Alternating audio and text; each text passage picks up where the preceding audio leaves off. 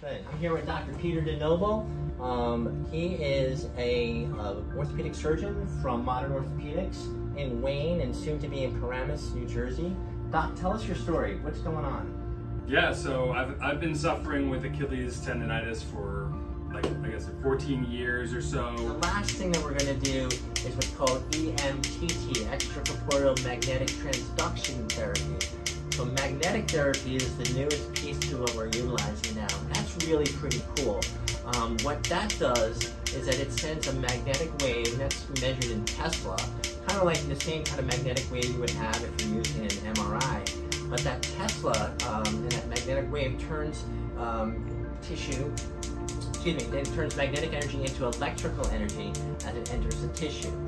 And when you enter electrical energy into that area, it changes the porosity, the, the way that cells are able to talk to each other.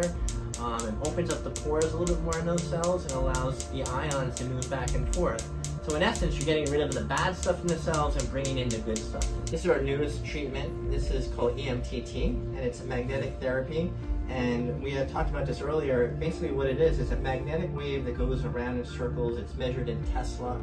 And when that magnetic wave hits tissue, it changes it into electrical, an electrical wave. Um, the interesting thing is that when you put it on the person's lower extremity or even on their hand, they don't really feel it. So what I like to do is have patients see what it really feels on the larger joint. So in this case, we're going to do it on a joint that Dr. DeNoble is very familiar with. It's a shoulder. So if we put it on the shoulder, do you feel anything right now?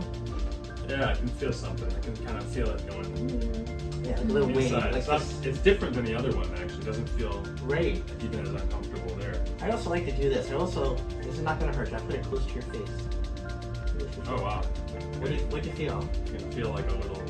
Like a tingling Something. feeling, right? Yeah. But then if we put on our, in his hand, how does it feel? No. Nothing. But here's my little experiment. I like to show this to people. So like we said, this is magnetic energy turns into electrical energy. I'm gonna just close the light here for a second. And Oh my god. so, oh. That's alarming. Right? Oh, because of the uh, metal. The Yeah. metal, yeah. So there's real stuff going on. There's real energy going through there. So the reality of it. yeah, and I think that's kind of a neat thing. I'm gonna have Dr. Noble stay on his belly. Right. We're gonna come back here, and what we're gonna do is we're gonna focus this right on his hip area. And when you do this, it doesn't have to be touching right on it, um, but we like to, to put it right in that spot, and uh, we keep it there for about a good five to six minutes, um, and all that energy is being transferred right back to that tissue. It almost makes everything we did beforehand, um, just accelerates everything. Makes things uh, feel a little bit better. It's like a cherry on top. Now, does does that mean that like, you think that this will allow you to treat fewer times? I've noticed that since doing the magnet that it's definitely decreased the amount. And the more important thing is that patients start to feel better sooner. Hmm. Um, you, you, usually when we do shockwave, we tell patients it might take up until about three months until you really feel the difference. I find now with this, patients are saying right off the bat that they feel a significant improvement. So what's nice about that is that the patient buys into the, the treatment plan as well. You know, they're like, oh yeah, I definitely feel the difference. I want to keep going. You know, when you tell someone, yeah, you're gonna feel better in three months, sometimes Right. they get like a little suspect about that.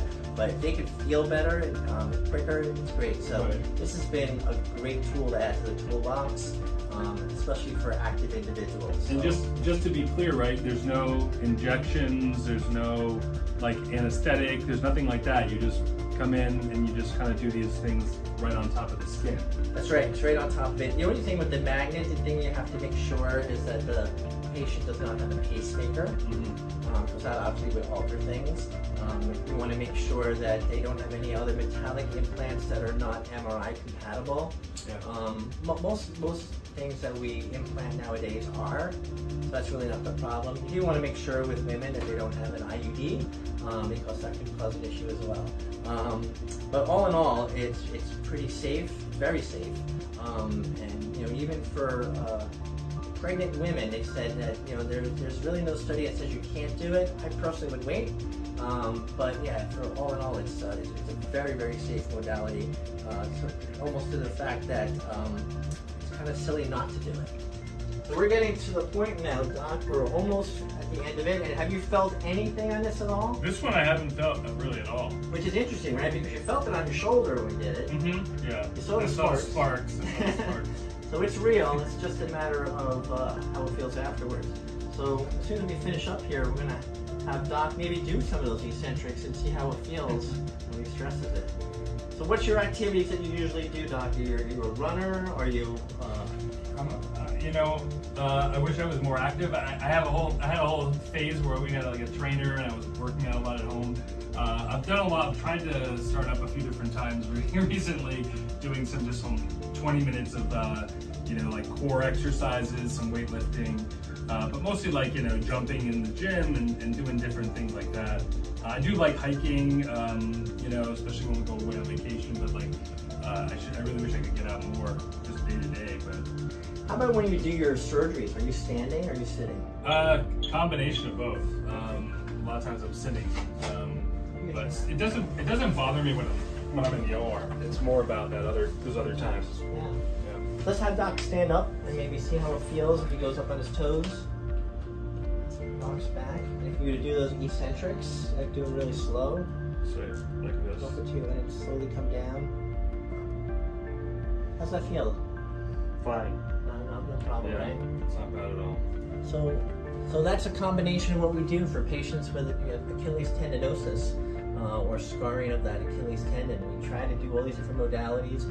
We educate the patient. Usually, we'll tell the patient we'd like you to do this um, about four times, and during that time, patients will start to feel the improvement as the tissue heals, and it continues to heal over another three months after that. So, thanks so much, Doc. Thank you, Doc. Gentlemen. I appreciate All that. right, perfect. All right. Thanks.